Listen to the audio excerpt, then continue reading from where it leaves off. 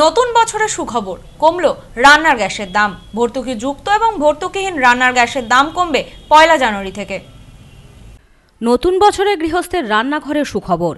বছরের প্রথম দিন থেকেই কমল রান্নার গ্যাসের দাম। ভর্তুকিহীন ও ভর্তুকিযুক্ত গ্যাসেরই দাম কমেছে। ভর্তুকিহীন সিলিন্ডারের দাম কমছে একশো কুড়ি টাকা পঞ্চাশ পয়সা আর ভর্তুকিযুক্ত গ্যাসের দাম কমছে সিলিন্ডার পিছু পাঁচ টাকা একানব্বই পয়সা। পয়লা জানুয়ারি থেকেই সেই দাম কার্যকরী হচ্ছে।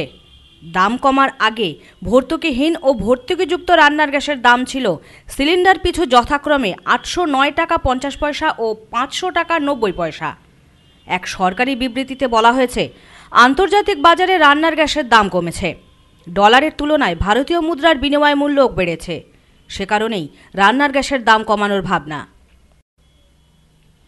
Bureau report, news ডোম্যান্সল্যান্ড